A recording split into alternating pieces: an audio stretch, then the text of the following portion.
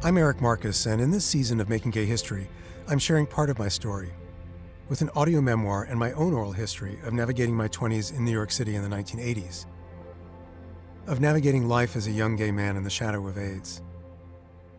This memoir is also about the people I met along the way and what happened to them. This is Chapter 3 318 West 22nd Street.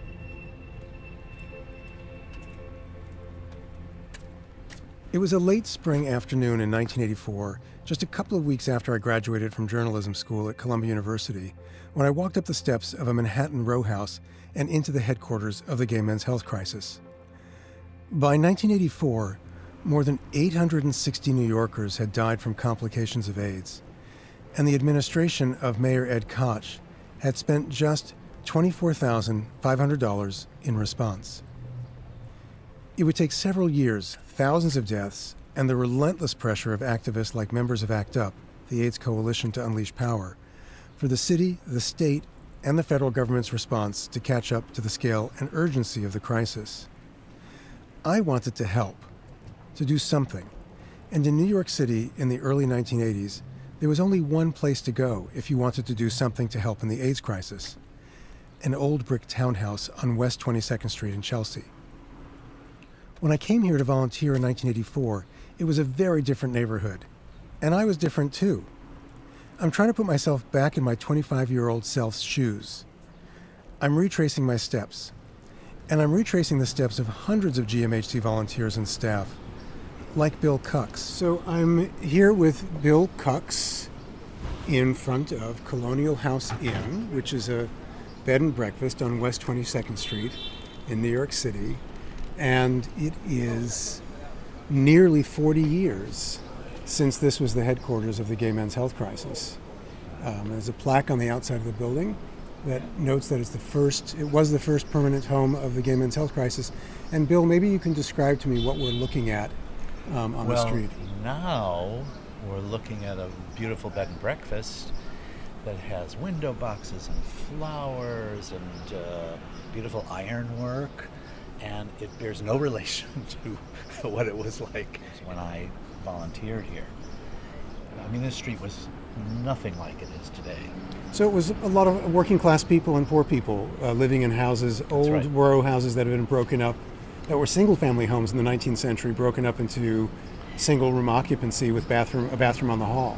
That's right. There was a bathroom down the hall. It was a rundown, old ramshackle building. So I would I passed by here I don't know how many times because I was frightened, really, to go to work, to volunteer. I didn't know what I would do. I didn't know if I had any qualifications. I didn't know what, what I would find. It was really sort of terrifying. And I didn't know whether who I would be seeing. Would I be seeing, you know, people people with AIDS? PWAs, which of course that's what we referred to when we I started volunteering. So finally, I worked up my courage. I thought, you know, if I'm not going to do it, who's going to do it?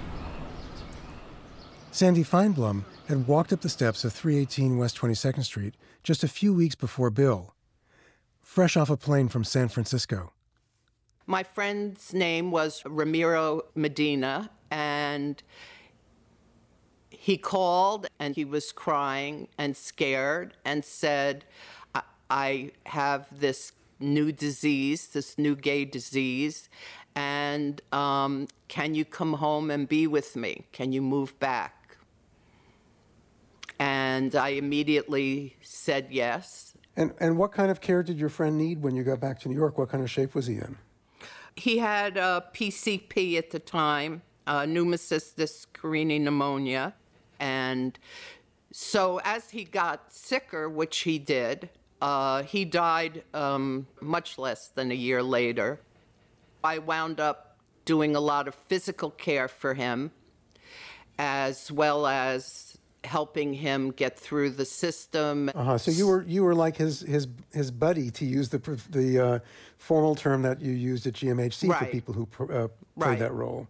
I was like his buddy. Mm-hmm. Yeah. So so what a typically what a family member might do for someone who was seriously ill. Yes. Yes. Absolutely. Yeah. He was not out at the time so he didn't feel able to tell his family. Um, and uh, just wanted me to help him. He was family yeah. to me. Uh huh. Ramiro asked me to go to this place called GMHC because he was too terrified to go there himself and tell his status and ask anybody for information. Because they were the only place in town that knew anything about this disease. And uh, I did, and this was in the Little SRO on 22nd Street and I listened to what was going on and I said I had a dusty old master's in social work. Did they need any more volunteers? And that was it. You know, everybody makes a choice, I guess. I made mine. Alongside her full time job caring for her friend Ramiro, Sandy picked up another full time job. GMHC's early management and founders took her to the Pines for the weekend. It's a gay beach community on Fire Island near New York City and they used everything in their arsenal to try to persuade her to become assistant clinical director of the fledgling organization. Uh, we had a great time, and uh, it's kind of sort of a blur because that's the kind of good time we had. I just remember being topless dancing with Rafael Tavares, who was a psychiatrist who was on the board of directors at the time out on the deck. And by the end of our few days there, somehow I had accepted the job. And it's really a true story. Um, they got me. and I honestly, I had said to myself that I would do it for a year, and I never wanted to feel like you know, people during the Holocaust that didn't do anything. I said, okay, I'll give this a year, it'll be over, and I will have done my part. When you say I, that, you, you, did you thought it would be over in a year? What did you mean? It just didn't seem possible that in New York, in the United States, they wouldn't make some massive effort and find a cure. I was very naive in that respect. GMHC matched volunteers like me with people who were sick and needed help. When I walked through the doors, I had a choice of being a buddy or a crisis intervention worker. Reading the application, I knew I wasn't up for being a buddy. Now that I'd gone back into the closet for my new job out in Queens, there was no way to explain the absences being a buddy required. I checked the box to be a crisis intervention worker, a CIW. Occasional visits required. That I could do. I climbed the worn, creaky wooden stairs to the intake interview. Do you ever remember interviewing anyone in the bathroom at the 22nd Street facility? I'm sure we did. That was my, the thing is, that was my experience. Yes, I'm sure we did. Listen, we we never had enough room or enough private rooms for anything. So I'm sure we did interviews in the bathroom. We did them anywhere we could. I'm sitting on the closed toilet. My interviewer leans against the sink. She asks a handful of questions about what kind of experience I have counseling or working with sick people. I've just finished two years of training and volunteering as a peer counselor at a place called Identity House, where we worked with young LGBTQ people who came in off the street. In short order, I'm scheduled for a weekend training assigned to Crisis Intervention Team 12. And within a few weeks, I've got the names, phone numbers, and brief descriptions of two clients a 23 year old Greek immigrant who was in the hospital, and a straight early 30s drug addict who lived in South Brooklyn. According to the notes, the gay guy, Euphemios, was sicker, so I went to see him first.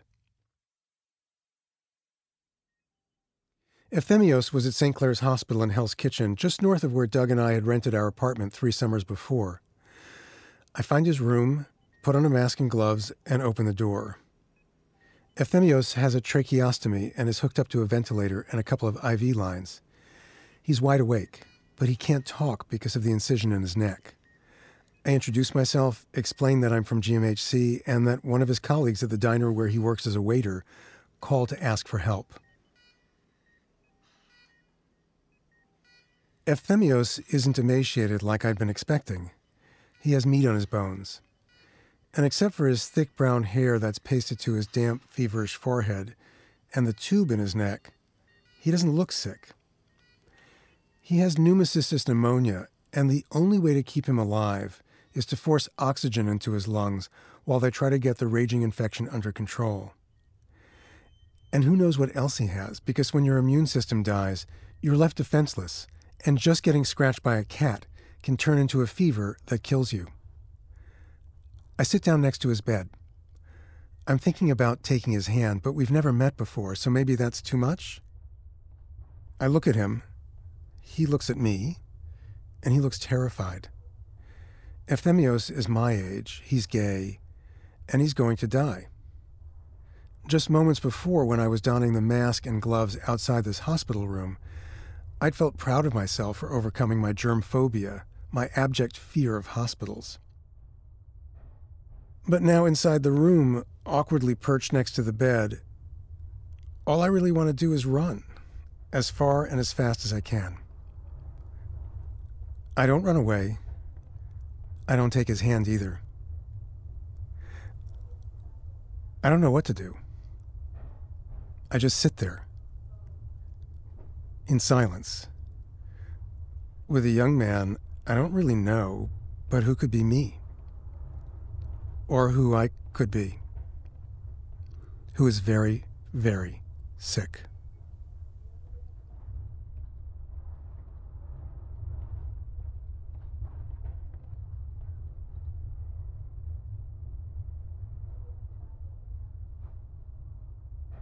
After a while, Euphemios picks up the pad and pencil that's on the tray in front of him and writes a question.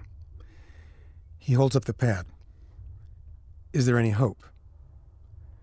It's not a question I want to answer. I'm certainly not qualified to answer it. But you don't need to be a doctor to have a very clear idea of his prognosis. I don't want to say what I think, so I lean on a cliche. There's always hope, I say. I tell Euphemios I'll be back in a few days. As I get up to leave, another visitor arrives. He says hello to Euphemios and then asks me to step outside.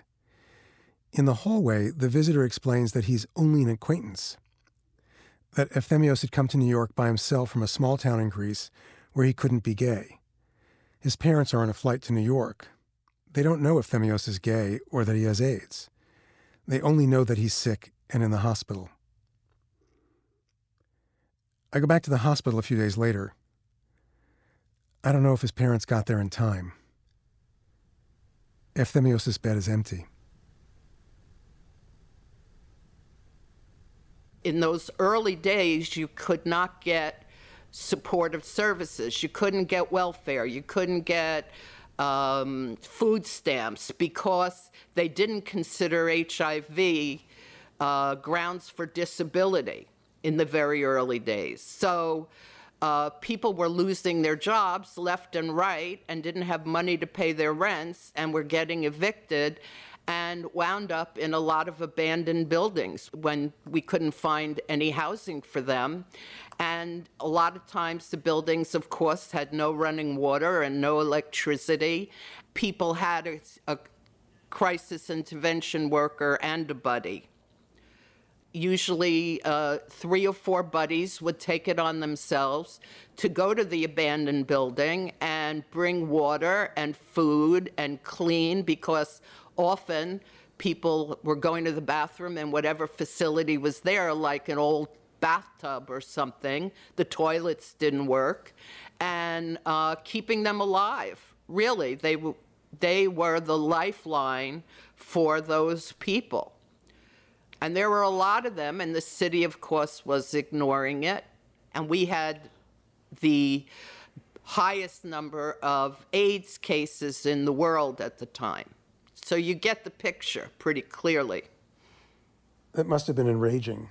It was infuriating.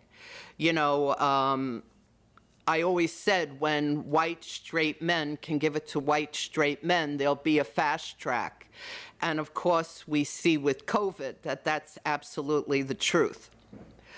Um, and uh, unfortunately, uh, there wasn't that same idea back then about gay men And then, of course, not about IV drug users either. Yeah. Getting to my other GMHC client's apartment from our place on 81st and Lexington was a schlep. Jimmy lived by himself in a rundown apartment. The place was a mess, his kitchen table overflowing with prescription bottles and dirty dishes. Jimmy was twice divorced. His first wife was living with their 12 year old son, Jamie, in another part of Brooklyn. His second wife, Laura, was still very much in love with him, but had to get out and create some legal distance as his behavior became more and more self destructive. What attracted you to Jimmy in the first place? Do you know when you look at someone and you just get smitten?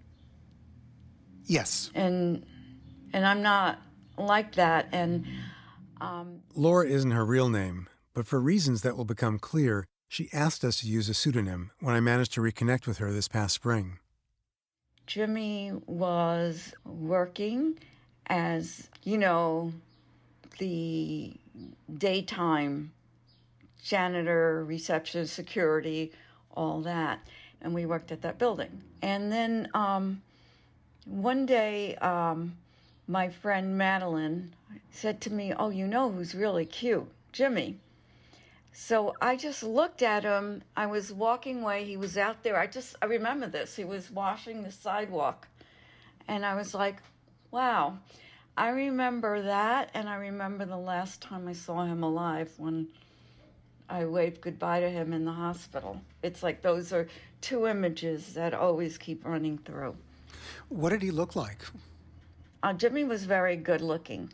He was very built you know, he had like the big muscles and stuff, had the full head of hair, dark, wavy hair. He had his mustache too.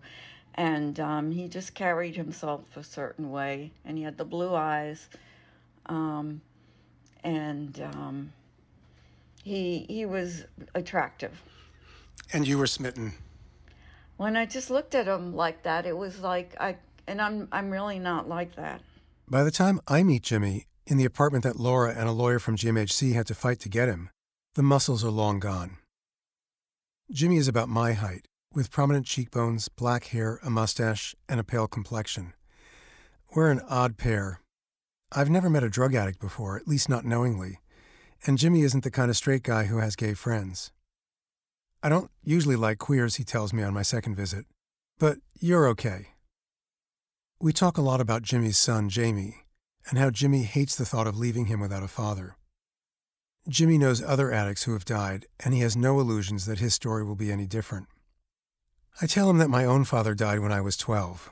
He asks what happened, and I tell him what I don't usually tell anyone, at least not then that my father killed himself. Over the coming months, I visit with Jimmy several times.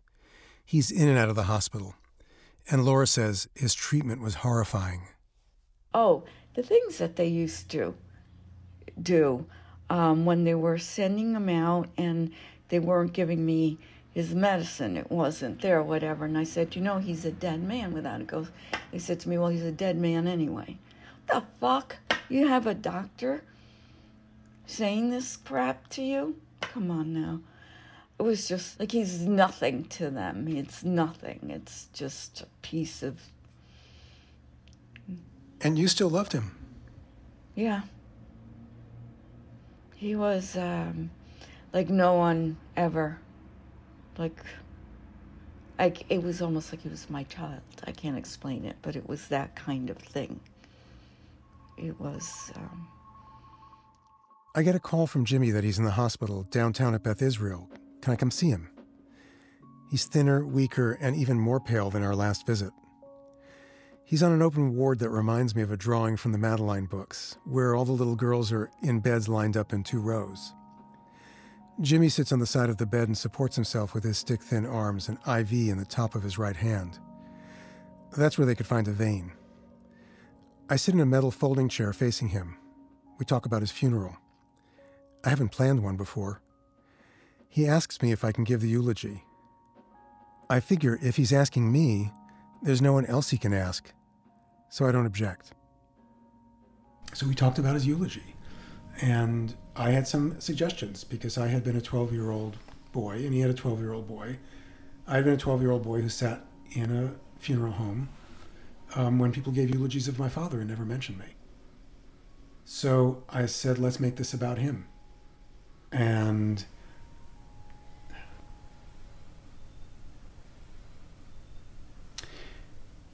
it's terrible. I can never talk about this without remembering being that 12 year old in a funeral home in Forest Hills, Queens, with my at my father's funeral.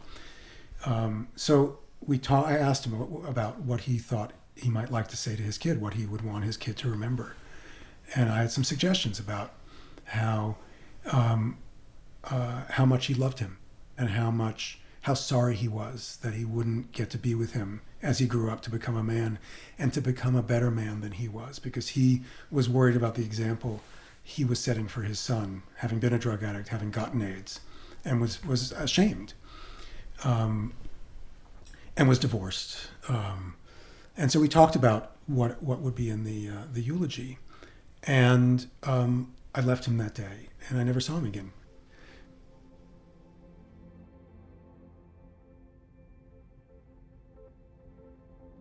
He died in 1984, December. He was at Beth Israel, I remember remembering correctly. Yes. Yeah. Did he die at Beth Israel? Yes. I was going to take that time off to be there all day with him. We were going to get him spruced up. Jamie was going to come visit.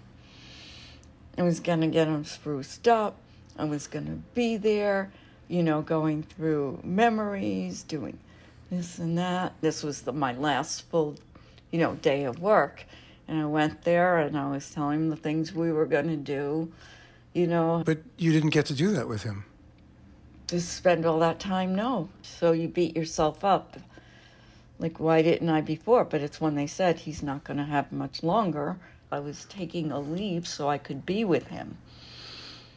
Um, and that's, and I never got to do that. And I just remember like leaving, like looking back and him going like that, I love you. And that's just like I remember him out there doing the thing and turning around and waving. It's just like, you know. So you remember him turning around and waving to you when he was cleaning the sidewalk, and you remember waving to him goodbye that Yeah, last time. saying I love you, yeah. But you didn't think that was the last time you'd see him. No, I was was making plans, and then I get after I'm home, like an hour, I get the call. Redden's on 14th Street was the one funeral home in the city that didn't hesitate to take people who died from complications of AIDS. Jimmy wanted a Catholic funeral, and thankfully the church across the street from Redden's, St. Bernard's, has no objections to hosting a service. It wouldn't be their first for an AIDS patient, and certainly not the last. The church is mostly empty, but that doesn't matter. At least not to me. The eulogy I deliver is for that boy in the third row who needs to hear how much his father loved him and how much he wished he could live to see him become a man, to help him become a better man than he was. It's funny, my boss at the time, when he died, she goes, Oh, she said, Oh, good, now you can go back to your life. She later apologized for that, but people just didn't understand.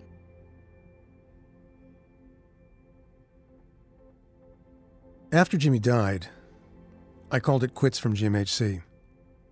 Over the years, I've developed this story that I told myself that by the time my clients died, some of my friends had gotten ill and I got busy looking after them, and that's why I stopped volunteering at GMHC. And it's true that one of my college friends had gotten sick, but that's not why I walked away, ran away. The truth was, it was too much for me. I gave Jimmy's eulogy a day after the 14th anniversary of my own father's death. Jimmy's death, that 12 year old fatherless boy, it was too much. I got really depressed. Not a good thing for the child of someone who killed himself. I admired the people who took on AIDS patient after AIDS patient, but I couldn't. I felt guilty that I wasn't one of them, even ashamed. But I wasn't one of them.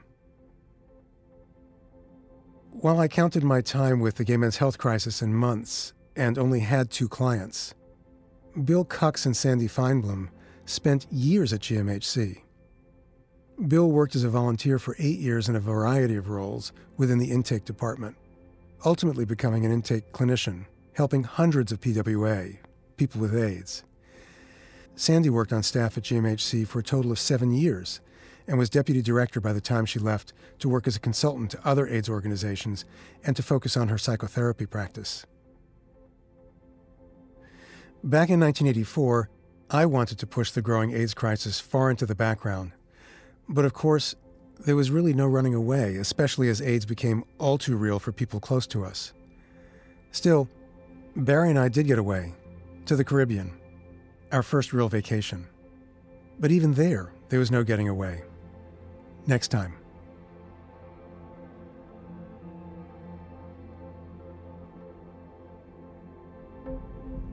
Postscript My memories of Jimmy and Laura and how their lives were upended by AIDS are memories in the past. I never take for granted how privileged I am that HIV AIDS is not part of my everyday life. But that's not the case for Laura. And as I said, Laura is not Laura's real name. She asked us not to use her real name because almost no one in her life knows about her past, including the son she had with the man she married after Jimmy died. You asked me, um, one of the first things you asked me was, Do you think I'm in danger? Do you think I could be sick? Oh.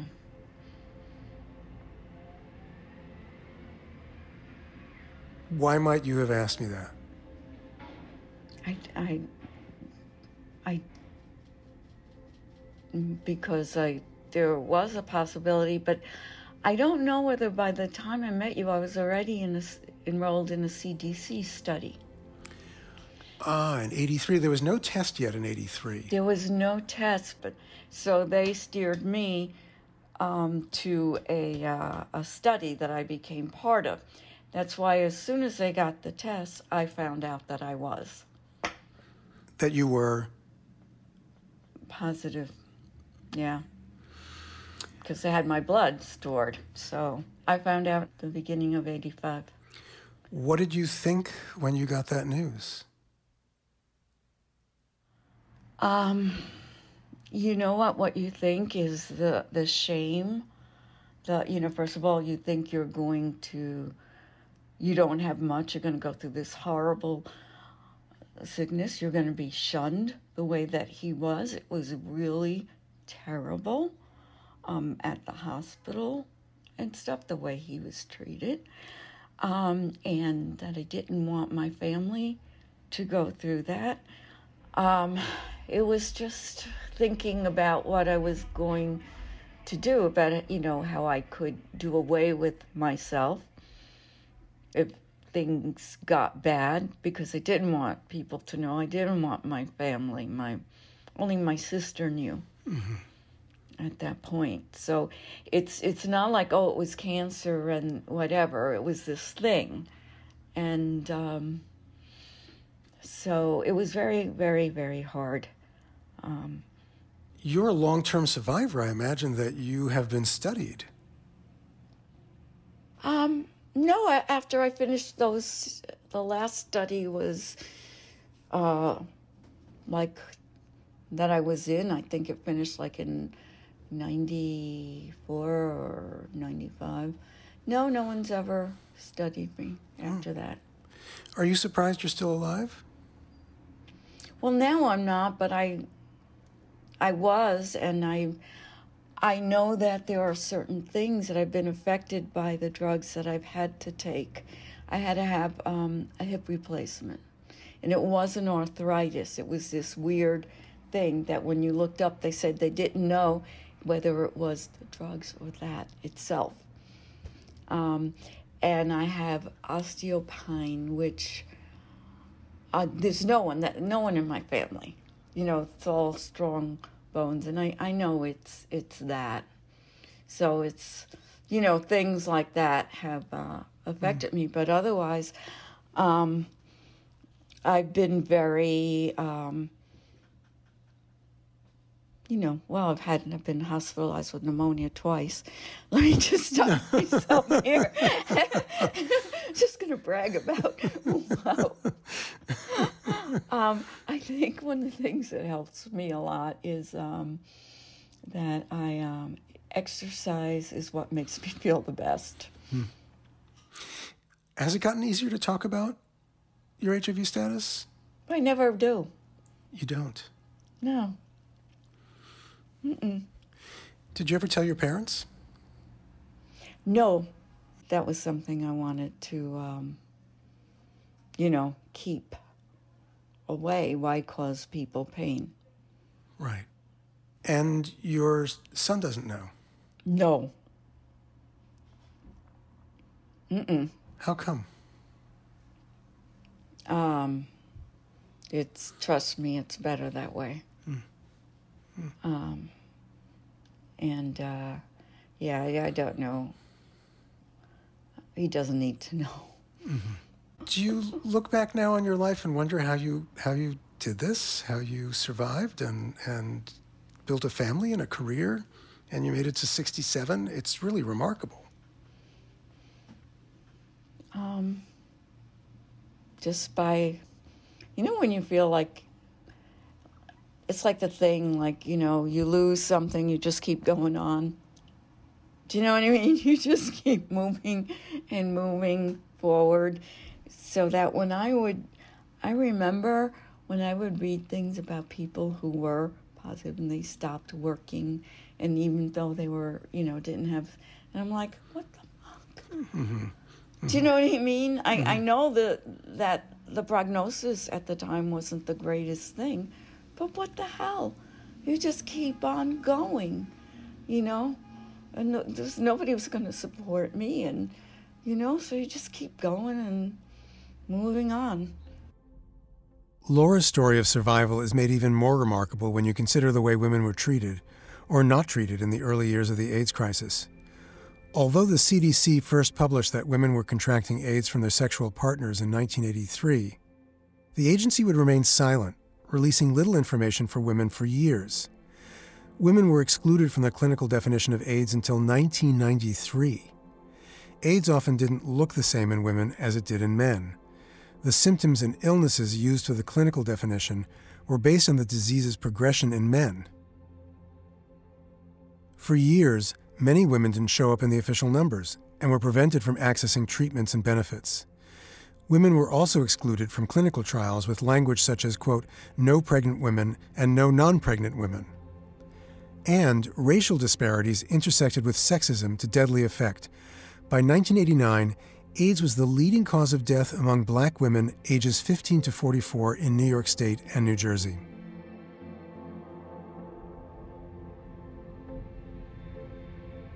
Many thanks to our hardworking crew at Making Gay History, including story editor Sara Burningham, assistant producer and sound designer Ray Kantrowitz, deputy director Inge De Taeye, researcher Brian Ferree, photo editor Michael Green, genealogist Michael Leclerc, and our social media producers Christiana Pena and Nick Porter. This season was recorded at CDM Sound Studios.